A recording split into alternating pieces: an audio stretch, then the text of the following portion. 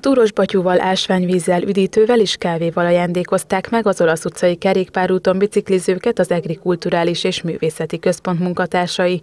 Az iskolába, óvodába, valamint munkába igyekvők között német anyanyelvűeket is köszöntöttek a korai órákban. A programmal a környezetvédelemre, valamint a fenntarthatóságra hívták fel a figyelmet a szervezők, amely az önkormányzat 2019-ben indult Felsőváros csillagai, közösen a közösségért elnevezési projekt részeként valósult meg.